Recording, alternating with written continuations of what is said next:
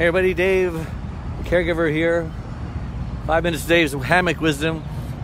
And what a unique opportunity in Atlanta to see a parade with the national champions. I'm assuming, not really a football fan, a lot of, a lot of excited fans out here waiting to show their trophy. so that reminds me of some wisdom here. You know, back in the old days, we used to get trophies for um, for excellence. First place, second place, third place. I don't know exactly when it happened, but uh, we started handing out participation awards for those who maybe didn't do so well because we didn't want to make them feel bad.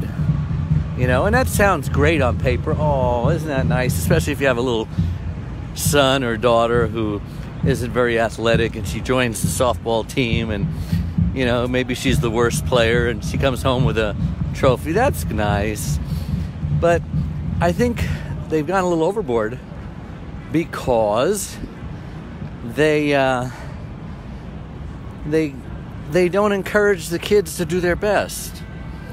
And I know this is a controversial topic, and some people will probably argue with me, but it's hard to believe that college students are now having a mentality of, uh, you know, an entitlement mentality or victim mentality. It's like if something doesn't go their way, or even if someone disagrees with them, they they think that.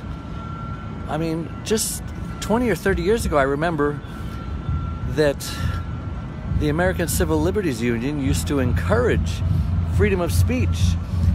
They used to say things like, you know, if you don't have to like this, but this is America and we have the freedom to express it.